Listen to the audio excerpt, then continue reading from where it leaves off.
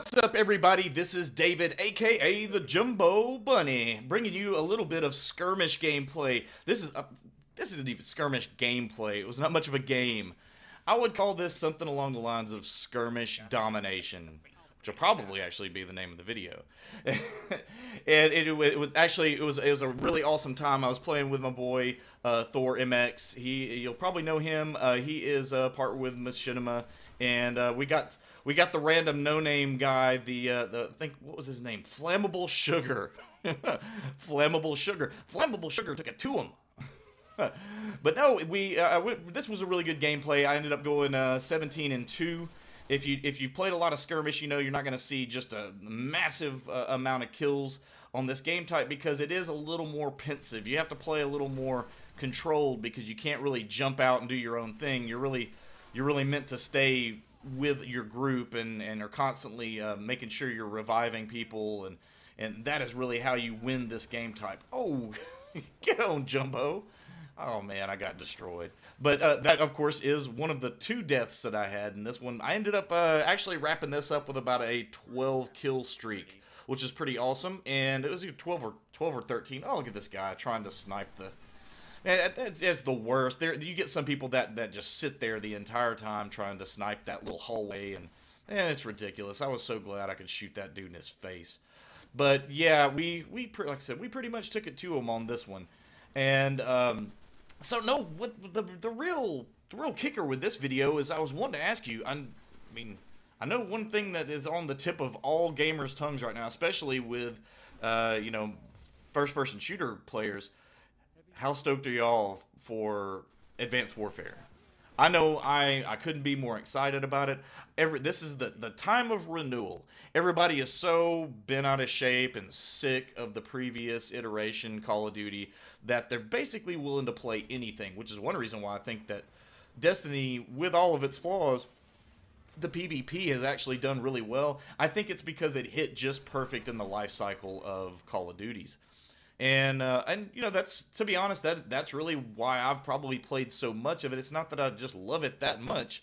It's that I all but refuse to pick up and torture myself with ghosts anymore. Uh, I just I, I last few times I played it, it was just full of of campers and it, people. Every single game went to time went to time limit, and it was just sad. Oh look at that picking up that two piece and on a five kill kill streak with it too, which was awesome. And like I said, I'll I'll, uh, I'll, I'll rack it up at that towards the end where I really start rolling and the team just we just annihilate these guys. So, what I feel like with Advanced Warfare is that it is kind of set to really regenerate and revive the the first person shooter games and and multiplayer games. Because right now I feel like on consoles you we've really had kind of a drought when it came to competitive multiplayer games, and not just not even just first person shooters, but just all around. I, I, don't feel like there's been a lot of them. I think at this point in the in the life cycle of the PlayStation, we're just in that lull before we get a lot of options. Um, right now, it just seems like we're, we're a little dry in terms of co-op games and competitive multiplayer, but I think we're getting there yeah, for the for the PlayStation. And uh, so how many of you guys have pre-ordered the game? I know I have, and I, I can't can't wait to uh, to break it open the day before. You never know if I wouldn't uh, if I wasn't the boss, I, I, I might might be uh, might feel a little sickly that day. Maybe I need to take a day off work and uh, and and recoup. But yeah, I, I'm I, I'm really excited about it. Again, I think it's gonna usher in a new era for for this particular generation of consoles and I'm I'm really thrilled about it. And what are the things that kind of have you the most excited? Are you excited for some of the new game types? Because I know some of these game types are actually being brought back from previous iterations.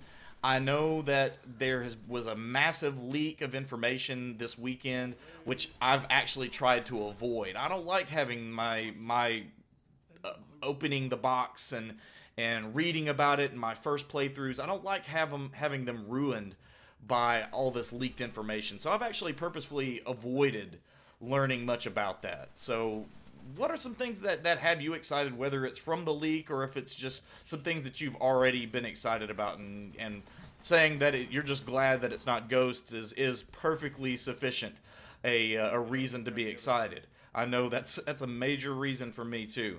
So give me a heads up and and let me know exactly how you're feeling about it. Uh, are you still you, do you still think you're going to be playing Destiny?